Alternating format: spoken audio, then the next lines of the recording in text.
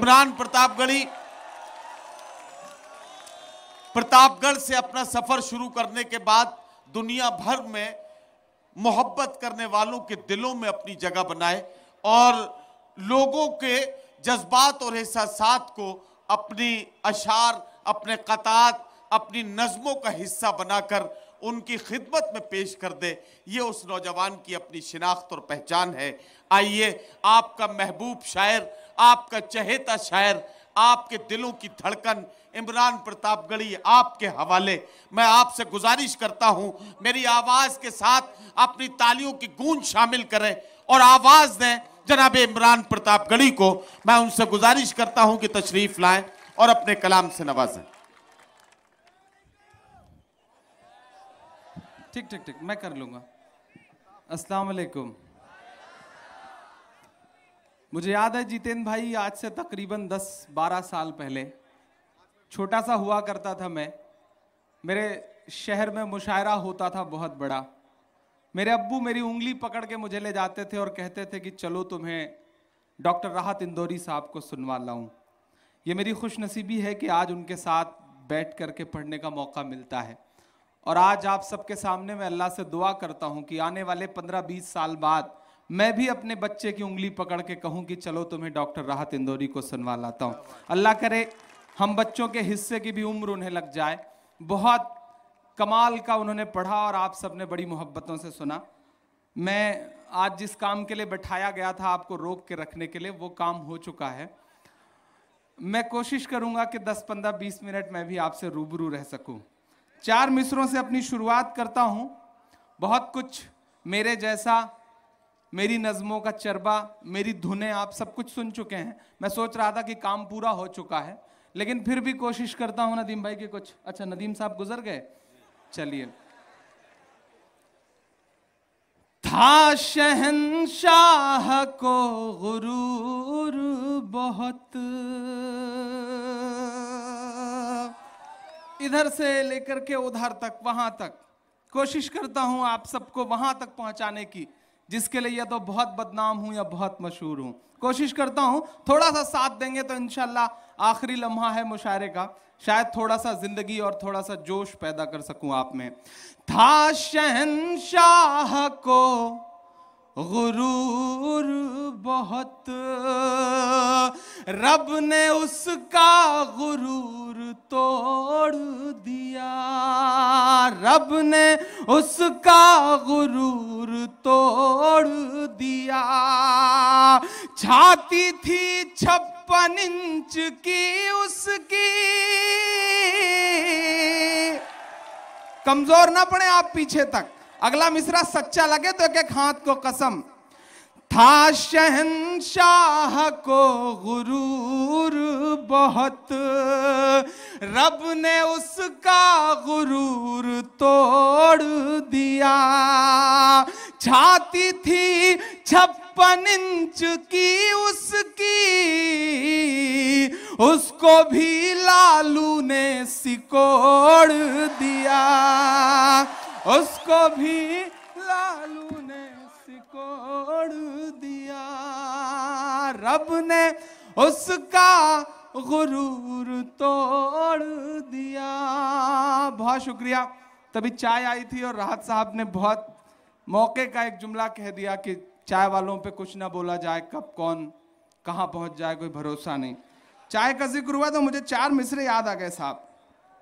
यहाँ बहुत सारे उत्तर भारतीय बैठे हुए हैं। उत्तर प्रदेश, बिहार और उसके इर्द गिर्द के लोग बैठे हैं। आप सारे लोगों को बिहार जीतने की मुबारकबाद देता हूँ।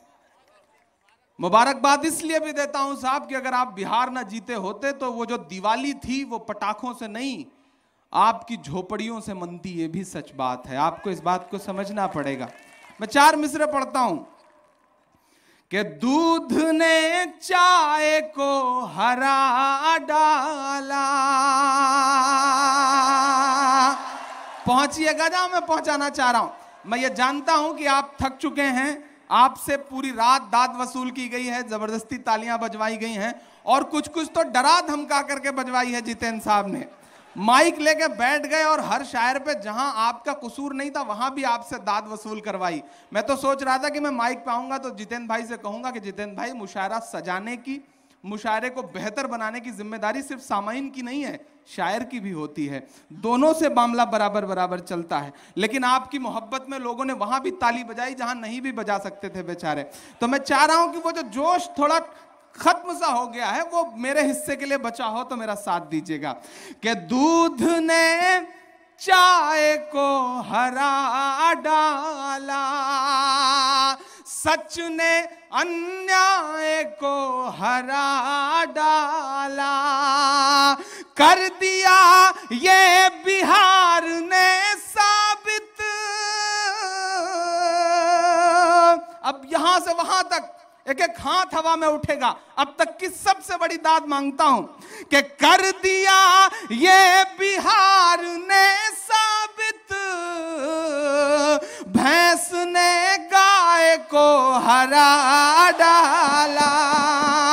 भैंस ने गाय को हरा डाला। सच ने अन्याय को हरा डाला। बहुत शुक्रिया। बहुत मोहब्बतें।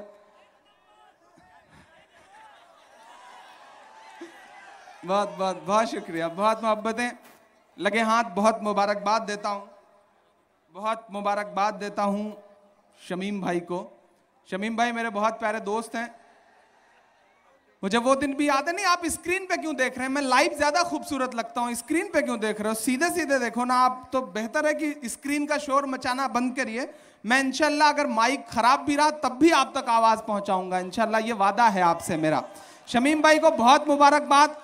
शमीम भाई मेरे बहुत अच्छे दोस्त हैं, मुझे याद है किसी एक मुशायरे में शायद तीन या चार साल पहले जब आप सामने शमीम भाई बैठे थे और शमीम भाई ने घर वापसी करी थी अपनी तो वो वो कमाल का दिन था साहब। उन्हें मुबारकबाद उस दिन से लेकर के अब तक। उसके बाद इनके गाँव जाना हुआ मुशायरे में 18 मई को फिर वो मुशायरा है, बहुत अजीमुशान मुशारा किया और जितेंद्र भाई भी उसमें गए हुए थे तो उनको बहुत मुबारकबाद। साथ में शानू भाई को बहुत मुबारकबाद, ये न्यू के पत्थर हैं इस मुशायरे के लिए। इनको बहुत मुबारकबाद देता हूँ। और जितेंद्र भाई को तो मुबारकबाद है ही। मेरे सारे दोस्त जो बैठे हैं, एक खूबसूरत इजाफा हुआ है साहब। सुफियान खालू को देख रहा हूँ, मैं शारिक को देख रहा हूँ। अलहमदिल्ला इन बच्चों ने दाढ़ी रख ली है, नमाजी हो गए हैं। ये ये ये ख़ास बात है। ये जो जीन्स और टी शर्ट वाले लड़के थे, इन्होंने माशाल्लाह दाढ़ी रख ली और दाढ़ी सुन्नत के हिसाब से रखी है। तो मुझे लगता है एक बार ज़ोरदार ताली बजनी चाहिए इन लोगों के लिए, इनके बदलाव के लिए। इन्हें बहुत मुबारकबाद। कमर भाई मेरे दोस्त सामने बैठे हैं, उनको भी बहुत मुबारकबाद देता हूँ। फिर से पढ़ता हूँ। सच ने अन्याय को हरा डाला, छप्पन इंच छप्पन इंच। जितेंद्र भाई, वो जो छप्पन का आंकड़ा था, अब जाके पूरा हुआ। तिरपन बिहार में, तीन दिल्ली में। अब जाके छप्पन पूरा हुआ है। सच ने अन्याय को हरा डाला, कर दिया ये बिहार ने साबित। भैंस ने गाय को हरा डाला, भैंस ने को हरा डाला। चार मिसरे और पढ़ता हूँ। हमारे देश में एक बाबा हैं। दुनिया की हर मर्ज का इलाज है बंदे के पास। फैक्ट्री खोल रखी है। दुनिया के हर बीमारी का इलाज करने वाला वो तथाकथित बाबा आज तक अपनी फड़कती हुई आँखों का इलाज नहीं कर सका साहब। वो मुसलसल फड़कती रहती हैं। योग दिवस मनवाया उस शख्स ने। योग दिवस मनाया गया साहब। देश का प्रधानमंत्री राजपथ पर लेट गया। चीन की चटाइयों पर। वो योग इसलिए मनवाया गया जितेंद्र भाई, क्योंकि चीन की चटाइयाँ बिकवानी थी। मैं सीधे सीधे बहुत सलीके से बड़ी ज़िम्मेदारी से यह बात कह रहा हूँ कि सिर्फ़ चीन की चटाइयों को बिकवाने के लिए योग करवाया गया, योग दिवस मनाया गया। और वो बाबा, पिछले दिनों उसने कहा कि शाहरुख खान ने इंटॉलरेंस पे बयान दिया है। तो शाहरुख खान को पद्मश्री मिलने के बाद जितना भी दौलत कमाई है सब का सब वापस करें।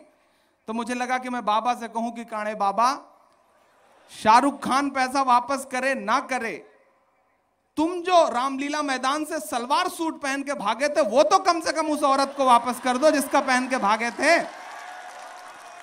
अब तक नहीं वापस किया बंदे ने, दूसरों से पैसे वापस करवा रहा है। तब मैं चार मिसरे पढ़ता हूँ। कि चढ़ते सूरज को नमस्कार न कर।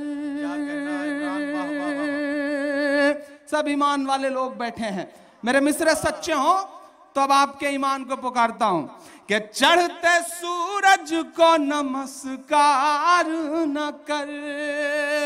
उसकी तस्वीर पढ़ के देख कभी। उसकी तस्वीर पढ़ के देख कभी। योग का नाम भूल जाएगा। अब लगे कि ईमान बोल रहा है तो एक एक हाथ को कसम है फिर से, कि योग का नाम भूल जाएगा। बस तरावी पढ़ के देख कभी। बस तरावी पढ़ के देख कभी। बस तरावी पढ़ के देख कभी। बहुत शुक्रिया बहुत मोहब्बतें। आप बिल्कुल मूड में आ चुके हैं और मोहब्बतों का मुसलसल सबूत दे रहे हैं पूरी रात। बस थोड़ा सा मेरे वक्त भी बार बार देते रहिएगा। वो पिछले दिनों एक अदालत में मुकदमा चल रहा था साहब।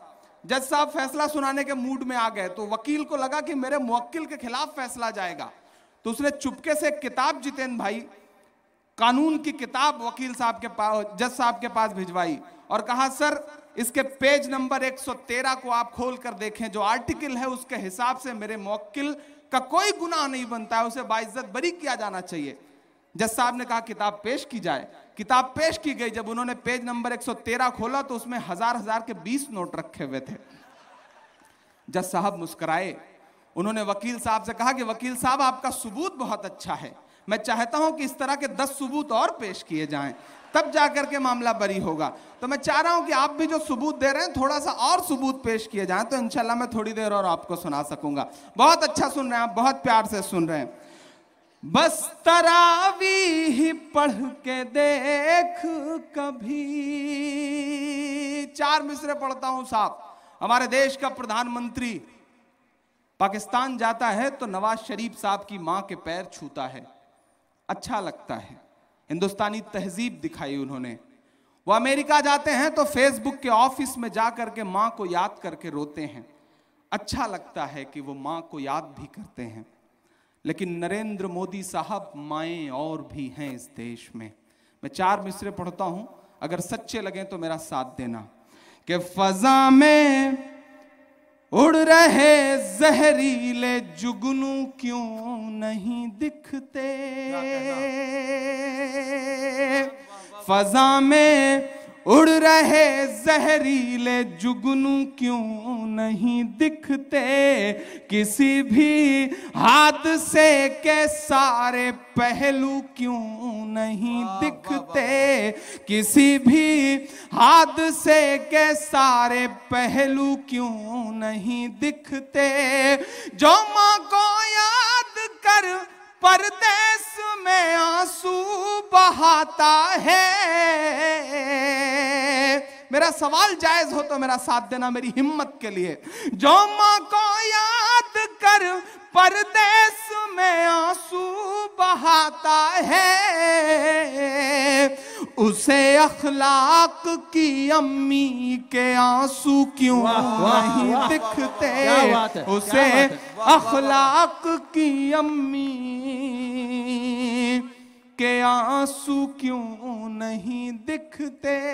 चार मिसरे और पढ़ता हूँ साहब। के वतन की बात करता है लहू की बात करता है, कफन की बात करता है, वो कारोबारियों के साथ धन की बात करता है, वो कारोबारियों के साथ धन की बात करता है। हमारे मुल्क ने कैसा नमूना चुन लिया यारो। अगर सच लगे मिश्रा तो मेरी हिम्मत के लिए मेरा साथ देना। जो कहते हैं, इस आंधी में पर ना तोला जाएगा। जो इस बात पे खुश हैं, हमसे लब ना खोला जाएगा। उनसे कहो, हम तूफानों से डरने वाले लोग नहीं। कातिल को मरते दम तक कातिल ही बोला जाएगा। कातिल को मरते दम तक कातिल ही बोला जाएगा। मेरे मिस्र सच्चे लगे तो मेरा साथ देना। मैं कहीं नाम नहीं लूँगा लेकिन आप पहुँच जाएँगे जहाँ आपको पहुँचना है। वो कारो बारियों के साथ धन की बात करता है। हमारे मुल्क ने कैसा नमूना चुन लिया यारो? वतन की बात करनी थी तो मन की बात करता है। वतन की बात करनी थी तो मन की बात करता है। चार मिसरे और पढ़ता हूँ। जितेंद्र दवार साहब मेरी आँखों के सामने बैठे हैं। जितेंद्र साहब, आपको याद होगा कि आपके इलेक्शन में मैं आया था। मैंने अपना दामन फैला करके मुमरा वालों से कहा था कि मुमरा वालों, जितेंद्र ओहार तुम्हारे लिए ज़रूरी हैं। आपने मेरी लाज रखी थी, मेरी बात का भरम रखा था। आज वो बातें साबित हो रही हैं। विदेश से किसी को निकाल लाएँगे, उसकी गवाही पर पूरे मुमरा को कटघरे में खड़े, खड़ा कर देंगे। इसलिए मैंने तुमसे कहा था कि जितेंद्र दौहाड़ ज़रूरी है तुम्हारे लिए। मैं चार मिसरे पढ़ता हूँ। अगर सच्चे लगे तो मेरा साथ देना। मुसलमानों, इस मुगालते में बिल्कुल मत रहना कि तुम्हारी लड़ाई सिर्फ़ मुसलमान लड़ रहे हैं, या तुम्हारी लड़ाई सिर्फ़ भाई लोग लड़ रहे हैं। इंसाफ बचाने की आखिरी उम्मीद लेकर के रात के ढाई बजे सुप्रीम कोर्ट की चौखट पर जो लोग खड़े थे, उसमें से एक भी मुसलमान नहीं था। सारे के सारे हिंदू थे। पहचानिए अपने इर्द गिर्द ऐसे चेहरों को। आप गुजरात गुजरात गुजरात करते रहते हैं माइक पर। लेकिन सच में गुजरात के मसले को अदालत तक ले जाने का काम जिसने किया था, उस शख्सियत का नाम तीस्ता सी तलवार है और वो मुसलमान नहीं है। पहचानिए, सल्यूट करिए ऐसे चेहरों को, सल्यूट करिए शहीद हेमंत करकरे को, जिन्होंने बताया कि दुनिया में दहशतगर्दी के दो चेहरे हुआ करते हैं। सल्यूट करिए अरुंधति रॉय को, सल्यूट करिए आपके लिए अवार्ड वापस करने वाले उन सैकड़ों लेखकों को कवियों को शायरों को सल्यूट करिए जितेंद्र वहाड़ जैसे लोगों को जो आपके लिए मुसलसल लड़ रहे हैं। मैं चार मिसरे पढ़ता हूँ। मैं जानता हूँ आप बहुत थके हैं लेकिन मैं ये भी जानता हूँ कि आप इनसे मोहब्बत भी बहुत करते हैं इसलिए पढ़ता हूँ। कि बड़ी दुश्वारियाँ हैं पर जिसे गाया ज़रूरी है छलक कर दर्द होठों तक चला आया, ज़रूरी है छलक कर। दर्द होठों तक चला आया, ज़रूरी है। सुनो ए मुमरा वालों, बात मेरी याद रखना तुम। तुम्हारे शहर पर इस शख्स का साया ज़रूरी है। तुम्हारे शहर पर इस शख्स का साया ज़रूरी है। छलक कर दर्द होठों तक चला आया ज़रूरी है। चार मिसरे और पढ़ता हूँ साहब। पठानकोट के शहीदों को सलाम करते हुए चार मिसरे पढ़ता हूँ। और बहुत ज़िम्मेदारी से हज़ारों लाखों की इस भीड़ में यह बात भी कह रहा हूँ। कि मैं टेररिज्म की कड़े शब्दों में मजम्मत करता हूँ, निंदा करता हूँ, क्योंकि इस्लाम कभी इसकी इजाज़त नहीं देता। हम जिसके मानने वाले हैं, उन्होंने तो जब एक दिन कूड़ा नहीं फेंका बुढ़िया ने तो उसके घर जाकर के पता किया कि आखिर बुढ़िया क्यों कूड़ा फेंकने नहीं आई। हम उनके मानने वाले हैं। हम किसी मासूम के कत्ल की इजाज़त नहीं दे सकते। जिस तरह बिस्मिल्लाह कह करके शराब पीने से हराम शराब हलाल नहीं हो जाती। उसी तरह अल्लाह अकबर कह करके किसी मासूम को गोली मारने से वो कत्ल जायज़ नहीं हो जाता। मैं निंदा करता हूँ लेकिन चार मिसरे पढ़ता हूँ। वो वाह, वो, वाह, वो वो बहुत खूब। वो बातें याद करिए जितेंद्र भाई जब कहा जा रहा था कि एक के बदले दस सर। लेकिन मेरे मिसरे सुनिएगा क्या मैं सच बोल रहा हूँ? शहीदों का लहू बेआबरू करके चले आए। बिन बुलाए पहुँच जा रहे हैं साहब। नाश्ता जो है वो काबुल में हो रहा है, लंच लाहौर में हो रहा है। हिंदुस्तान तो सिर्फ़ खाली होने के लिए आते हैं, फिर वापस किसी मुल्क के लिए निकल जाते हैं साहब। अजीब बात है, अजीब बात है, दूरबीन लेकर के बंदा हवाई जहाज़ में सवार होता है। ताकि ऊपर से देख सके कि दुनिया का किस मुल्क, कौन सा मुल्क बच गया जहाँ घूमा जाए। एक दिन सेक्रेटरी से कहा कि, सेक्रेटरी, बताओ अब दुनिया के कौन से मुल्क का दौरा बचा है? सेक्रेटरी ने तंग आके कहा कि, साहब, अब तो सिर्फ़ दिल का दौरा बचा है, बाकी दौरे सब खत्म हो चुके हैं। ये हालत हो गई है साहब। तब मैं पढ़ता हूँ कि शहीदों का लहू बे आबरू करके चले आए। पुराने जख्म थे उन पर, रफू करके चले आए। पुराने जख्म थे उन पर, रफू करके चले आए। हमें उम्मीद थी वो कुछ कटे सर लेके लौटेंगे।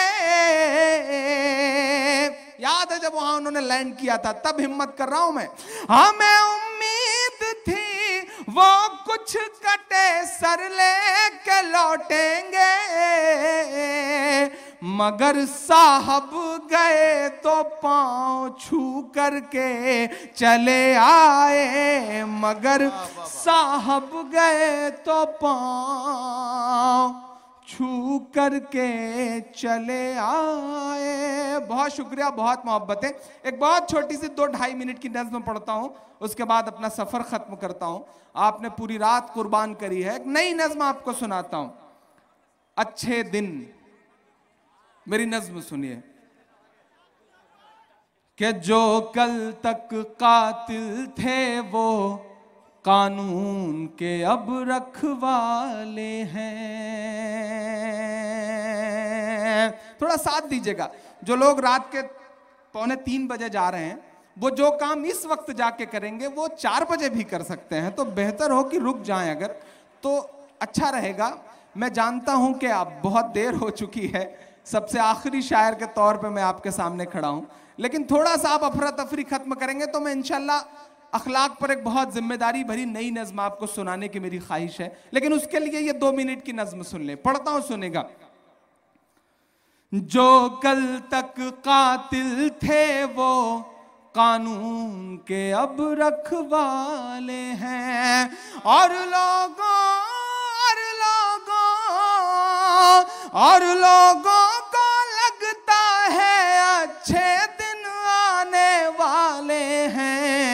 जो कल तक कातिल थे वो कानून के अब रखवाले हैं। जो कल तक कातिल थे वो कानून के अब रखवाले हैं। पहला बंद पढ़ता हूँ।